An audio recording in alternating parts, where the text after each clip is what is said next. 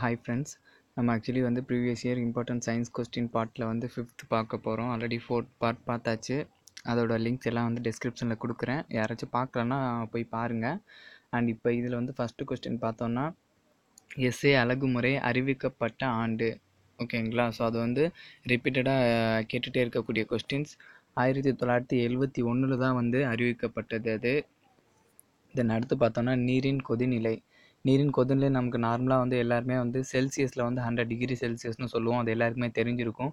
But ஆனால் ஃபேரன்ஹீட்டில் பார்த்தோம்னா two twelve degree Fahrenheit தான் வந்து ஃபேரன்ஹீட்டில் நீரோட கொதிநிலை. ஓகேங்களா ஸோ இதை கரெக்டாக பார்த்துக்குங்க. அடுத்து தொலைக்காட்சி பெட்டியின் திரைக்கு அருகில் நமது கைகளில் உள்ள முடிகள் குத்திட்டு நிற்பதற்கு காரணம் வந்து மின்னூட்டம் தான். அதுக்கு ரீசன் நார்மலாக வந்து நம்ம டிவியெல்லாம் ஓடிட்டு இருக்கும்போது பக்கத்தில் கை போனால் ஒரு மாதிரி சிலிக்கிற மாதிரி இருக்கும். அதுக்கு ரீசன் வந்து மின்னூட்டம் தான். ஓகேங்களா அடுத்து குழந்தை ஞானி என போற்றப்படும் அறிவியல் அறிஞர் வந்து யாருன்னா பாஸ்கல் தான் வந்து குழந்தை ஞானி அப்படின்னு சொல்லுவாங்களா பால்சலோட பாஸ்கலோட முழு பேர் வந்து பால்சி பாஸ்கல் தான். ஓகேங்களா ஸோ அடுத்து பாய்மங்கள் என அழைக்கப்படுபவை எதுன்னா வாயுக்களும் நீர்மங்களும் தான் வந்து பாய்மங்கள் அப்படின்னு சொல்லிட்டு சொல்லுவாங்க. நல்லா பார்த்துக்குங்க. வாயுக்கொள்ளும் நீர்மங்களும். தென் அடுத்து பார்த்தோன்னா மண் அகழ்வி மற்றும் மகிழுந்தின் தடைகள் போன்றவை எத்தத்துவத்தில் செயல்படுகிறதுன்னு பார்த்தோன்னா பாஸ்கல் விதி தத்துவத்தின் அடிப்படையில் தான் வந்து மண் அகழ்வி மற்றும் மகிழுந்துகளின் தடைகள். ஓகேங்களா?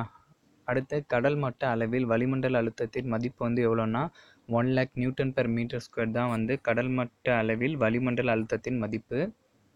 தென் அடுத்த கொஸ்டின் பார்த்தோன்னா ஓரளவு பரப்பில் செயல்படும் விசை சாரிங்க நான் இங்கே ஏற்படும்னு போட்டிருக்கேன் ஏற்படும் கிடையாது செயல்படும் விசைன்னு பார்த்தோன்னா அழுத்தம். ஓரளவு பரப்பில் செயல்படும் விசை வந்து அழுத்தம். ஓகேங்களா அடுத்து ஒரு கலனில் உள்ள காற்றை வெளியேற்றும் பம்பு ஒன்றை கண்டறிந்தவர் வந்து யாருன்னா ஆட்டோவான் குறுக்கேன்றவங்க தான் வந்து பம்பு கண்டுபிடிச்சிருக்காங்க. கலனில் உள்ள காற்றை வெளியேற்றும் பம்பு. ஓகேங்களா அதுதான் ரொம்ப முக்கியம். கலனில் உள்ள காற்றை வெளியேற்றும் பம்பு கண்டுபிடிச்சது யாருன்னா ஆட்டோவான் குறுக்கேன்றவங்க இதனடுத்து அடுத்து உயிரினங்களின் அடிப்படையிலான செல்லை கண்டறிந்தவர். அண்ட் அதோட ஆண்டு எப்போ கண்டுபிடிச்சாங்க அப்படின்னு பார்த்தோம்னா செல்லை வந்து ராபர்ட் ஹுக் தான் கண்டுபிடிச்சாங்கன்னு உங்கள் எல்லாருக்குமே தெரிஞ்சிருக்கும். பட் இயர் பார்த்தோம்னா ஆயிரத்தி அறநூற்றி அறுபத்தி அஞ்சில் வந்து கண்டுபிடிச்சிருக்காங்க. ஸோ இப்படின்னு கேட்கலாம்.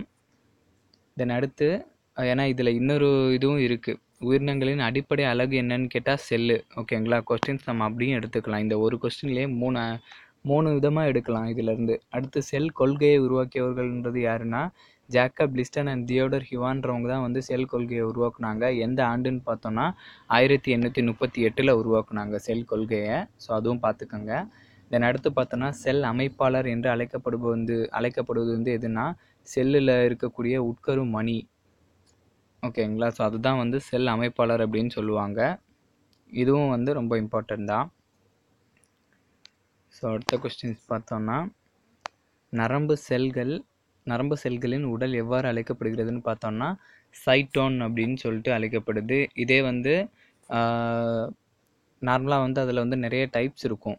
ஸோ நரம்பு செல்லை வந்து சைட்டோன்னு சொல்லிட்டு அப்படி அதில் அழைக்கலாம். ஓகேங்களா ஸோ அடுத்து உடலின் காவல்படையாக விளங்குவது வந்து எதுனா லியூகோசைட்டுகள் ஓகேங்களா இந்த நிலத்து வரி தசை நார்களையும் வரியற்ற தசை நார்களையும் ஒத்து காணப்படும் அமைப்பு. ஒரே ஒரு அமைப்பு என்னன்னு பார்த்தோன்னா இதயத்தில் மட்டும்தான் வந்து வரி தசை நார்களும் வரியற்ற தசை நார்களும் ஒத்து காணப்படும் ஒரே அமைப்பு. உடம்புல ஒரே அமைப்பு வந்து இதயம்தான்.